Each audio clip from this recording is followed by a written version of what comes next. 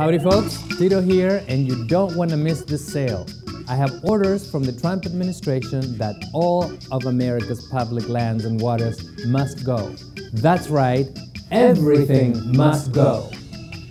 We have national monuments, protected parks, beautiful coastlines, and sacred indigenous lands that could be yours to drill, mine, or generally destroy for short term profit.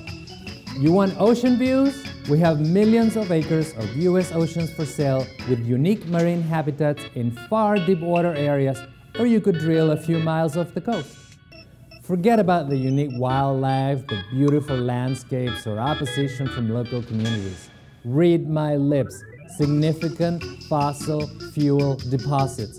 We're talking oil, gas, and that old classic coal.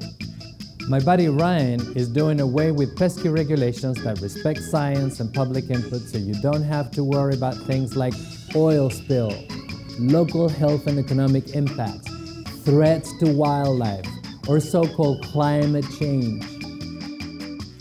So we're here to help you to focus on what's important extracting fossil fuels so you can get richer. So run, don't walk to the Department of the Interior to start drilling today.